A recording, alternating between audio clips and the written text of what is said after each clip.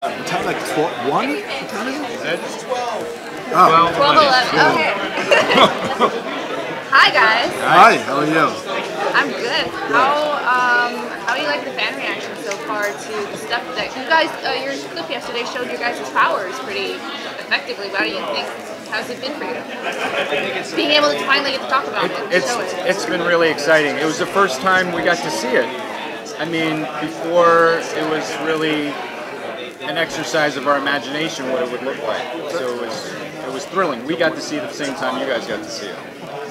Can you talk a little about your powers and how a little about the backstory of your characters or anything that you know that you can tease? Yeah, it's like, you know, my my character is Gorgon. He's uh, head of the Attilan military. Um, he went through the process of Terrigenesis uh, in his ancestors, and he got hooves.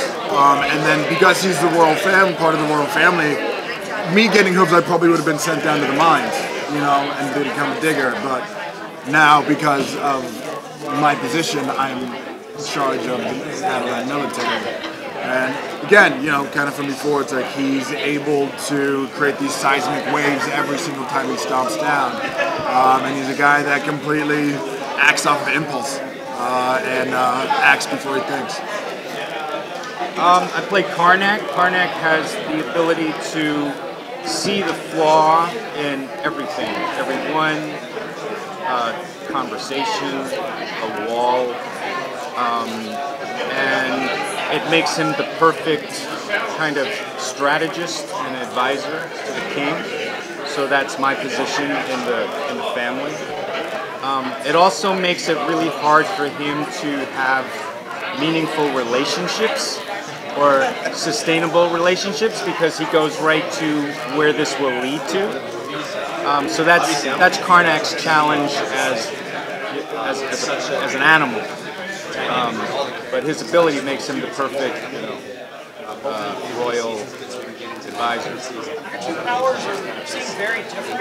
And they Almost opposite. Almost opposite. And they showed you guys having like fight scenes where you get to fight each other. Yet in the panel yesterday, you guys were arguing about who a fight. So I want to know the answer. It's Wait, never ending. It's never going to end. And, and it wasn't about that. It was about what is the best superpower to have. Yeah. That was the debate. It started when we were shooting, kind of early on, and it continues to today. Are there any front runners on what, what the best one is for you? The- I, again, it's There we go. no, no, it's the truth. I want, I want to know this. No, it's a, no, it's the truth. Like, look, worms. here's the thing. It's gonna have to be His, five years your- now. We're still gonna his is flying, mine is extreme strength. Okay. Now, my, I'm gonna I'm gonna do it the other way. His biggest flaw is this: if you fly, there's not a guarantee you know how to land. So if you go hundred feet in the air Yeah. and you try to land and you land on the ground no too hard, guarantee. You die. You need You're another dead. power, a landing power. You need some strength to survive the landing. With me, I say I can get any object. I can get like a some like a snowboard, thrust myself into the air, like like and and fly through the air, or I could fight against wind, Yeah. which makes me fly. It's interesting you actually bring up flaws in the powers. Is there any kind of like flaw or like I mean you see the power you can see your power is to see any flaw, but can you ever be outsmarted? Like is there a uh, like what's your guys' weakness? You're very powerful mutants. I have to say, Or inhumans, sorry. Can't use that N word. Sometimes seeing the flaw works against me. yeah. I mean, it, I mean, like, like I said about relationships. relationships, um, and that that is a flaw. That can be seen. that can- You know, you can say that's a flaw. I suppose that the question is, can someone trick you?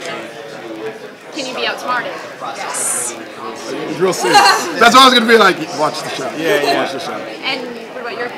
I, I honestly, I have to say, watch the show. Oh no. Like really, it's um. Yeah. I think I I I I, I really love what we did. we go through we, go, we each go through i mean individually and also collectively uh, a journey Yeah.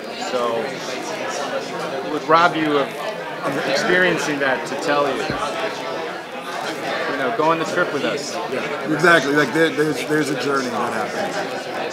What are you most excited for fans to see For me, action scenes are just as important as dialogue. You know, it's clear that there are a lot of fans who know this comic really well. They know it from, you know, the, the comics that came out in the 60s and, and then, you know, subsequently. We are really kind of our own thing, our own animal, our own iteration of the human. So I'm excited to see uh, fans who already love a certain interpretation to experience ours. And for me, it's I, as much as it is about us having superpowers. There's a lot of humanity that's taking place in this that, to me, just gets me super excited. That just a lot of people don't know about. Um, you know, you're dealing with so much different than all the other ones. Like, you know, you're picking different superhumans from different parts of the world, but you're starting off the story already having the dynamic of a family.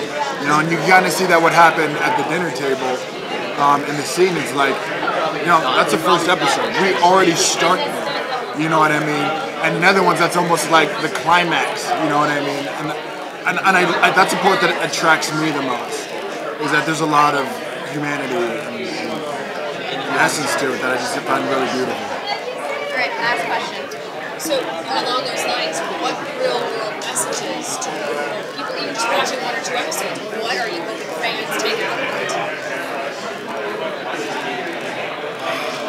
I want to say watch the show because I feel that I'll, I'll, be honest. I feel that we in this show we hit a lot of different elements of what's going on in the world, and I think and it speaks for itself. When you watch it, I will say that in the show, uh, we're we're basically refugees.